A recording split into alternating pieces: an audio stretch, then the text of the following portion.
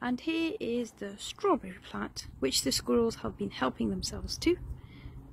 This one is still forming, and there are many more. Let's have a look. Ooh, there's a beautiful one. Let's have a look.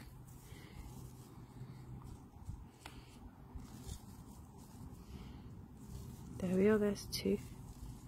That one's not been hit by the squirrels yet. And there's another one forming there as well.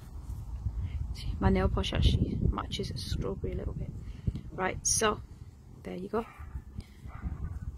That's the strawberries so far. Any more? Oh, there's one more. That one's still forming, isn't it? Let's have a look. Yep, that one is still growing. So we'll wait for that to grow. The squirrels have been helping themselves. I'll show you something. Look, that's the beautiful strawberries there growing. There's been quite a few this summer, which is really good. The squirrels have been hiding their nuts in this pot of mine. And what's happened is they've been eating the strawberries, hiding their nuts and um,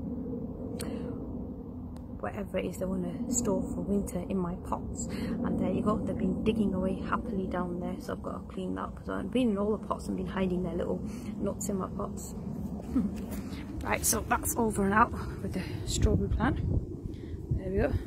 So I'll give you an update on that as well